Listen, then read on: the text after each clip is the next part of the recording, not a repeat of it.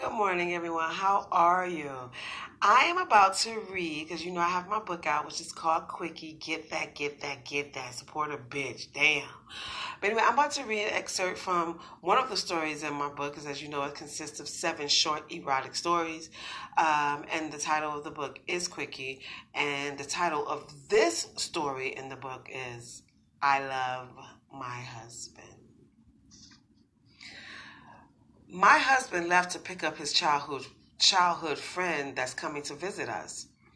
My husband would ask me my opinion about him, and I would simply say, he's okay.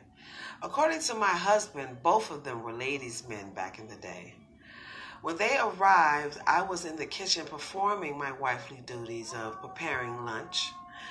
To my surprise, he was sexier than the pictures. We said hello, he and my husband went to sit by the pool. By the way, my husband's name is Desmond, but we call him Des for short.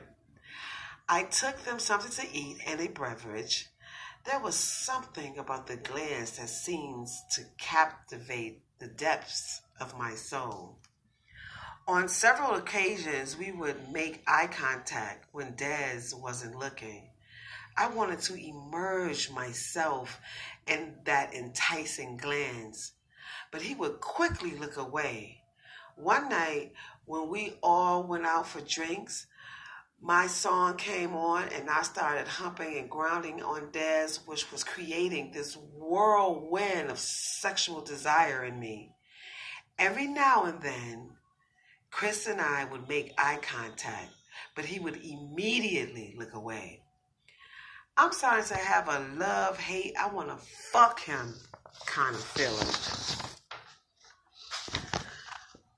When we arrived home, my husband and I were horny as hell. We said goodnight to Chris. Des grabbed me tightly by my face, face and slammed his tongue down my throat. We tongue fought for a while. He flipped and folded his tongue in my mouth and sucked my teeth Oh yeah, we're funky. We're we're fucking kinky. He ordered me to get my little ass upstairs.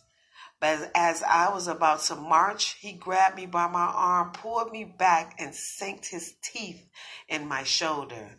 I moaned with pleasure and pain. He covered my mouth with his hands and said, Bitch, shut the fuck up. Then he licked my neck like a cat and said, Get your little ass upstairs now.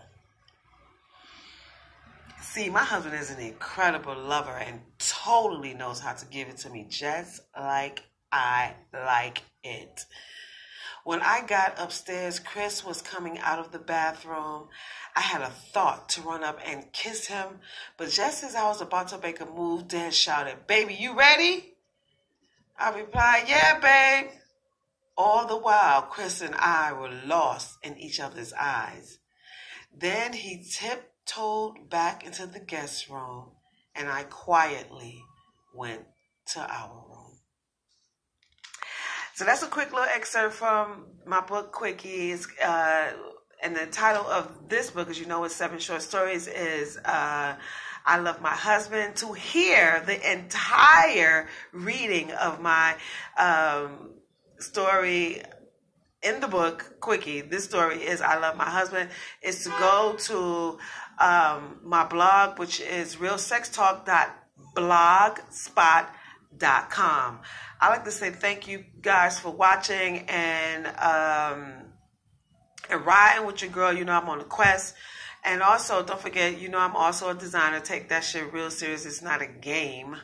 Um, and I also have my service called Seductive Art, which is around around sexuality, of course. Uh, duh. Um, I teach visual stimulation. That's where my brand comes into place. Me as a designer and a stylist, I teach women how to visually stimulate their partner, not only uh, in the bedroom but also through everyday uh, life. You know what I'm saying? When you look good, you feel good, and also in the bedroom, like with each um, outfit that you wear and the personality that goes along with it um, and how to act that out. Then we have real sex talk, and then we put on our heels.